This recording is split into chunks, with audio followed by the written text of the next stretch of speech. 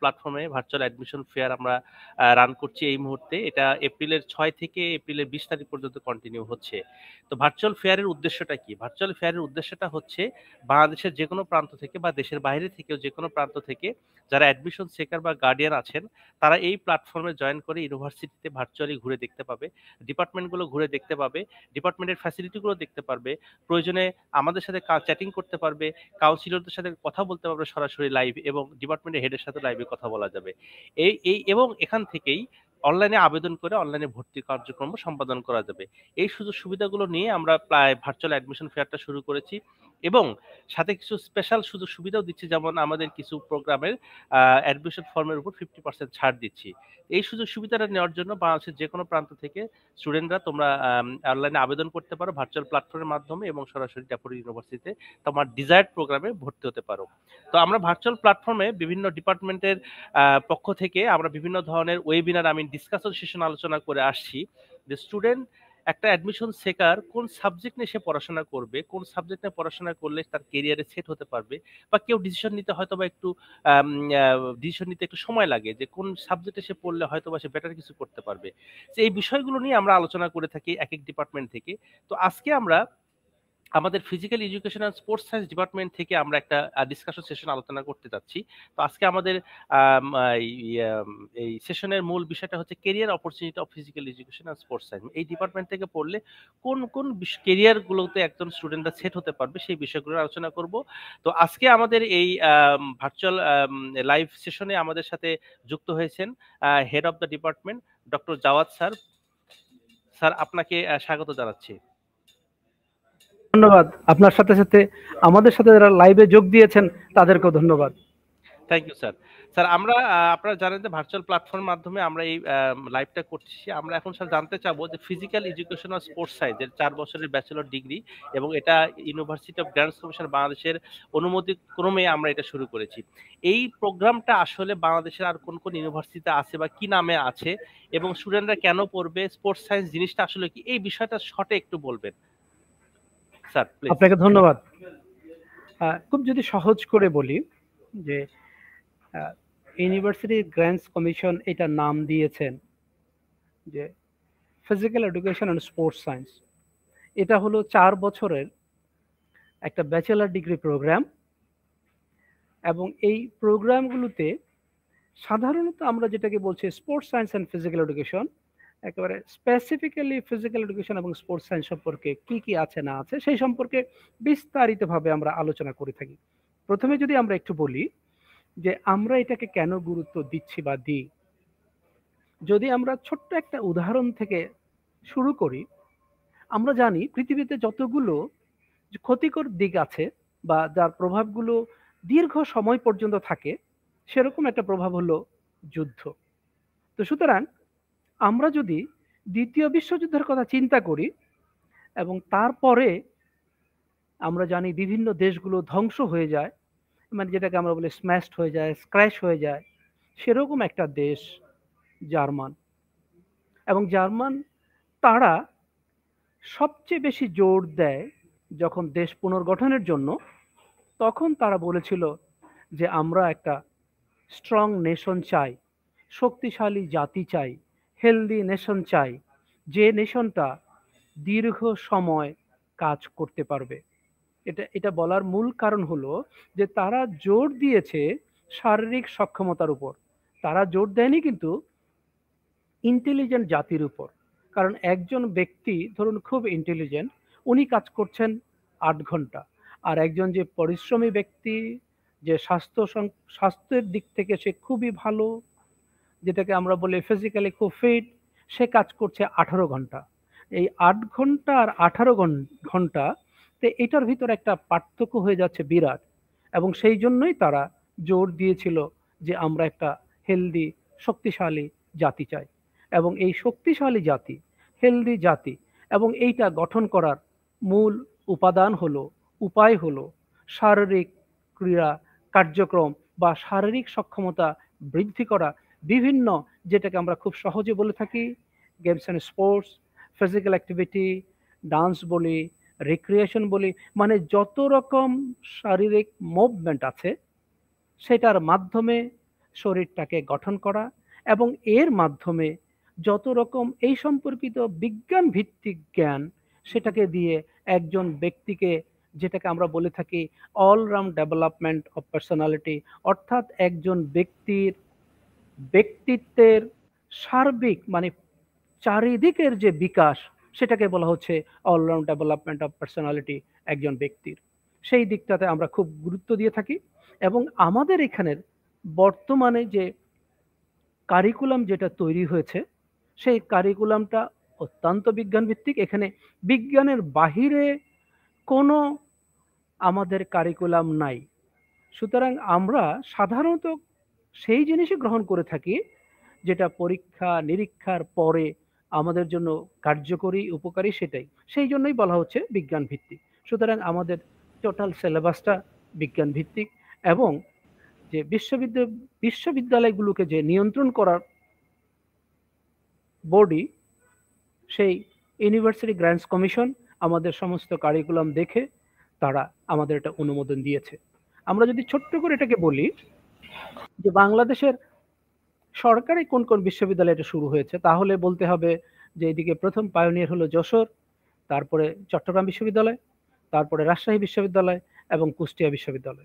এবং বেসরকারি ক্ষেত্রে যদি আমরা বলি, তাহলে ড্যাফোডিল বিশ্ববিদ্যালয়ে, বেসরকারি বিশ্ববিদ্যালয়গুলোর ভিতরে প্রথম যারা এই বিষয়টাকে অতি গুরুত্বের সাথে বিবেচনা করে এই ডিপার্টমেন্টটা আমরা শুরু করেছি। এটার মূল জোর দেওয়ার বিষয়। মূল বিষয়, একজন ব্যক্তির পরিপূর্ণ ব্যক্তিত্বের বিকাশ। অর্থাৎ আমি যদি একজন ব্যক্তির যত ধরনের পটেনশিয়ালিটিস আছে, সেগুলোর যদি সর্বোত্তম ব্যবহার করে একজন ব্যক্তিকে যোগ্য হিসেবে পরিপূর্ণ শিক্ষায় শিক্ষিত করে তোলা যায়, তাহলে সে যেমন নিজের জন্য একটা সম্পদ হবে এবং দেশের জন্য একটা সম্পদ হবে এবং দেশ ক্রমান্বয়ে ধীরে ধীরে সামনের দিকে এগিয়ে যাবে। Thank you sir thank you sir sir এখন আরেকটা বিষয় জানতে চাচ্ছি যে এই ফিজিক্যাল এডুকেশনাল স্পোর্টস সায়েন্স এটা তো চার বছরের ব্যাচেলর ডিগ্রি আমাদের। জি জি। এটা আসলে কি যারা খেলোয়াড় আছে এই মুহূর্তে যারা বিভিন্ন খেলায় জড়িত শুধু তারাই কি করবে? নাকি যারা পেশাদার খেলোয়াড় না তারাও এই প্রোগ্রামটা করার সুযোগ আছে? আসলে কাদের জন্য এই প্রোগ্রামটা নাকি তার দুজনের জন্য এই প্রোগ্রামটা চমৎকার। ক্লিয়ার করতে এটা হলো সার্বজনীন সবার জন্য।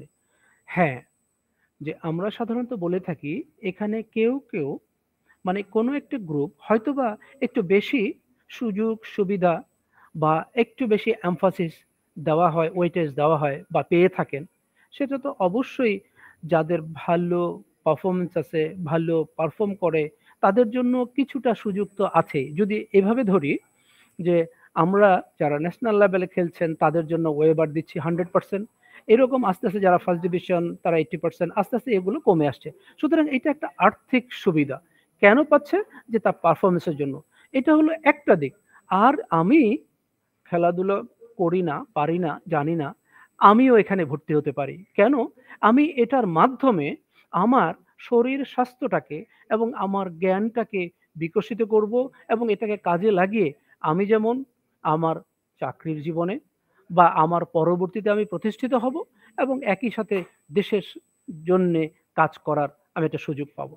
তার মানে স্যার আমরা বলতে পারি যারা এই মুহূর্তে পেশাদার খেলোয়াড় আছেন, তারা যদি এই প্রোগ্রামটা করেন, তারা তাহলে অর্গানাইজেশনাল একটা সার্টিফিকেট তারা পাইলেন এবং অর্গানাইজেশনাল তারা কিছু নিয়ম কারণের যে বিষয়গুলো মানে ফিজিক্যাল এডুকেশনের সেই বিষয়গুলো তারা জানতে পারলেন। যদিও তারা পেশাদার খেলোয়াড় হিসেবে হয়তো খেলার বিষয়গুলো তারা জানেন বাট ইথিক্সের যে বিষয়গুলো বা মানে অর্গানাইজেশনাল ভিত্তিক মানে পড়াশোনার মাধ্যমে যে বিষয়গুলো জানা সেটা মনে তারা ডেভেলপ করবে।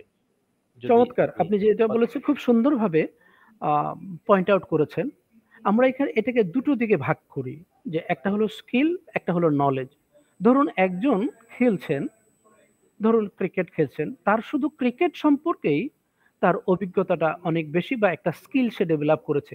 আর আমরা এখানে যে ধারণাটা দিয়ে দিই তার দুটো জিনিস। একটা হলো স্কিল আর একটা হলো নলেজ স্কিলটা হলো কি তার সমস্ত শুধু একটা গেম তা না সমস্ত গেমগুলো সম্পর্কে তার স্কিল দিয়ে দিই এবং তারপরে এই সম্পর্কিত তার যত ধরনের নলেজ দরকার আছে সাইন্টিফিক নলেজ যেটাকে আমরা বলি যে physiology anatomy sports training sports medicine মানে এই ধরনের যতগুলো বিজ্ঞান ভিত্তিক বিষয়গুলো আছে আমাদের কারিকুলামে অন্তর্ভুক্ত করা হয়েছে, সেই সম্পর্কে তাদেরকে বিস্তারিতভাবে জ্ঞান দেওয়া হয়ে থাকে।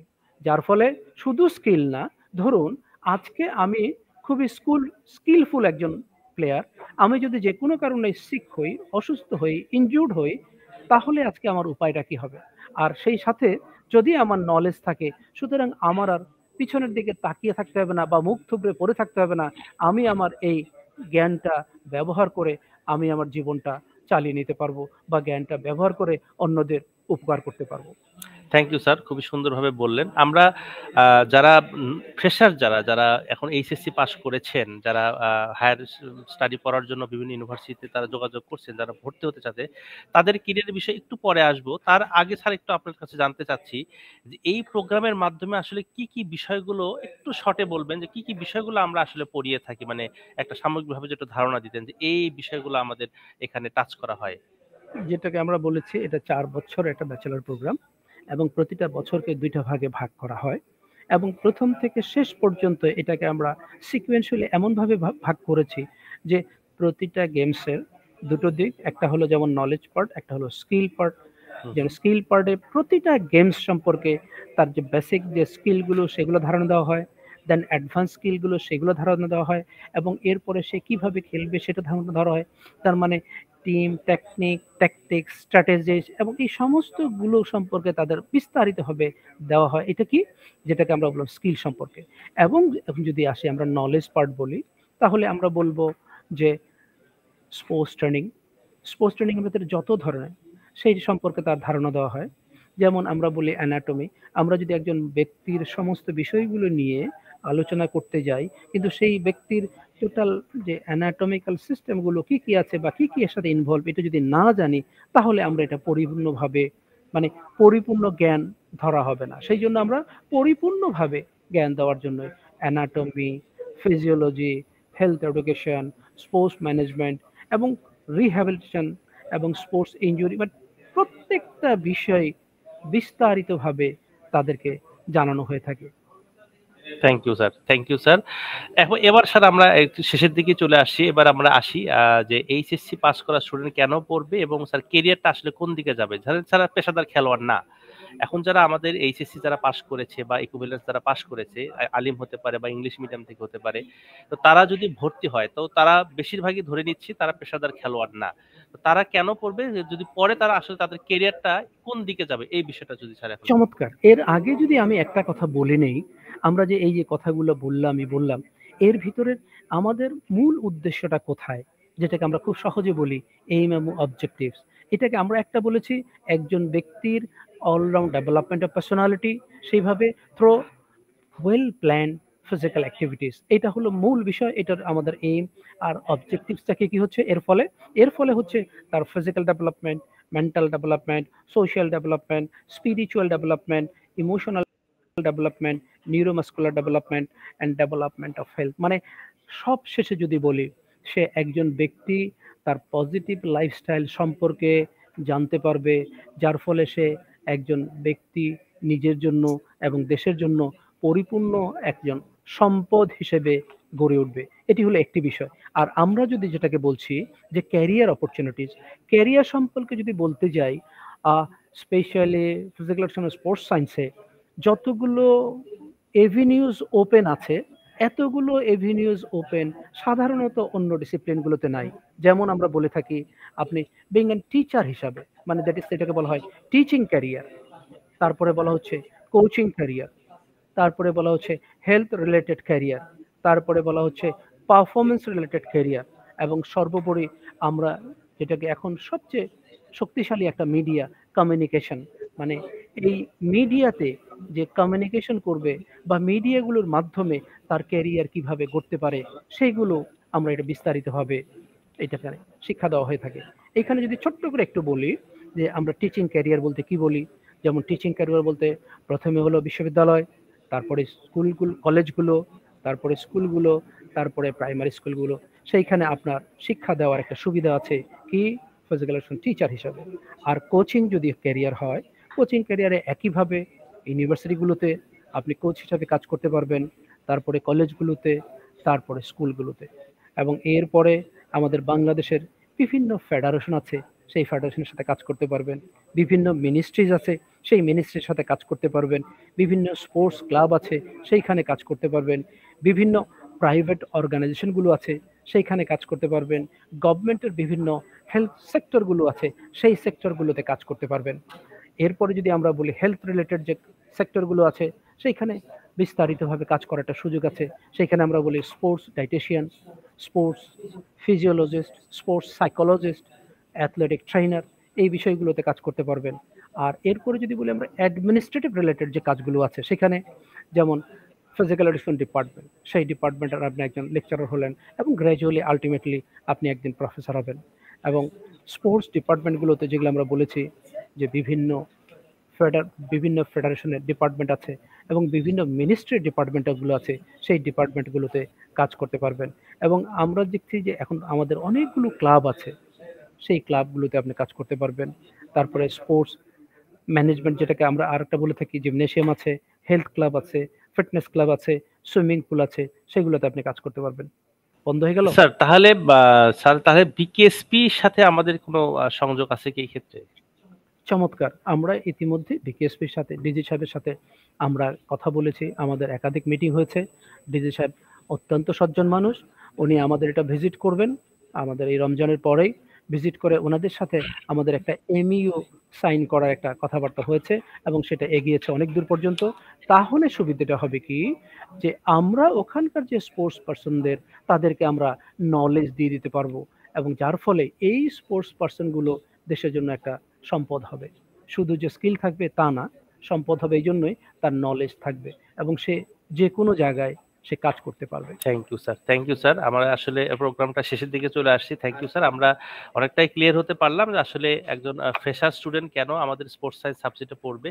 কেরিয়ারগুলো খুবই বিস্তৃত, যেখানে ফিজিক্যাল এডুকেশন টিচার হতে পারে sports coach personal trainer sports medicine physician sports psychologist strength and conditioning coach athletic trainer fitness programme director sports journalist sports marketer sports event planner physical trans therapist exercise physiotherapist then recreation director sports equipment designer এবং আরও sir যেগুলো বলেন সেগুলো যেতে পারব। তো এখন আমি ফাইনালি শুধু একটা কথা বলে দিতে চাই আমাদের অডিয়েন্সকে এই physical BSc in honours and physical education and sports science paste যেটা আমরা সংক্ষেপে বলি, এটা টোটাল চার বছরের খরচ হচ্ছে পাঁচ লাখ দু হাজার চারশো টাকা। সাথে আমরা একটা ল্যাপটপ ফ্রি দিচ্ছি এবং এই সাবজেক্টে এই মুহূর্তে ভর্তি হলে ভর্তির সময় পঞ্চাশ হাজার দুশো টাকা এবং ফর্ম এক হাজার টাকা দিয়ে অ্যাপ্লাই করে ভর্তি হওয়া যায়। এবং ফার্স্ট সেমিস্টার যে খরচটা আছে ছয় মাসের সেমিস্টার ভিত্তিক খরচ, প্রথম সেমিস্টারে অ্যারাউন্ড চুরাশি হাজার আটশো টাকার মতো খরচ আসে এবং পরের সেমিস্টার ছয় মাসের সেমিস্টারগুলোতে অ্যারাউন্ড পঞ্চান্ন থেকে ষাট হাজার করে খরচ আসবে এবং এই ছয় মাসের সেমিস্টারের টাকাগুলো কিস্তি হিসেবে এবং মান্থলি হিসেবে পেমেন্ট করার সুযোগ আছে। তো এই মুহূর্তে এখানে আমি একটু যোগ করতে যাই আপনার সাথে। মানে আমাদেরকে বলা হচ্ছে প্রথম দুটা ব্যাচ তারা সবার জন্যই টোয়েন্টি পার্সেন্ট ওয়েবার থাকবে। ভর্তি হলে রেজাল্ট স্যার এবং কোটা ভিত্তিক আমরা একশো পার্সেন্ট পর্যন্ত স্কলারশিপ দেই বাট মিনিমাম টোয়েন্টি তারা পাবে। টোয়েন্টি পার্সেন্ট পাবে এবং এটা আমরা চিন্তা করছি এটাকে আরও একটু কীভাবে বাড়ানো যায় সেটা নিয়ে আমরা চিন্তা ভাবনা করছি।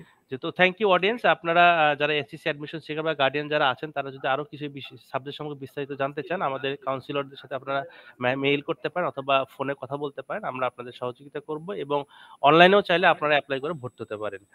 তো থ্যাংক ইউ আপনাদের সকালকে আমাদের এই প্রোগ্রামে যুক্ত হওয়ার জন্য এবং থ্যাংক ইউ হেড স্যার আপনাকে অসংখ্য ধন্যবাদ। থ্যাংক ইউ আসসালামু আলাইকুম। আপনাকে ধন্যবাদ এবং আমাদের দর্শকদের শ্রোতাদেরও ধন্যবাদ। থ্যাংক ইউ স্যার সালামু আলাইকুম।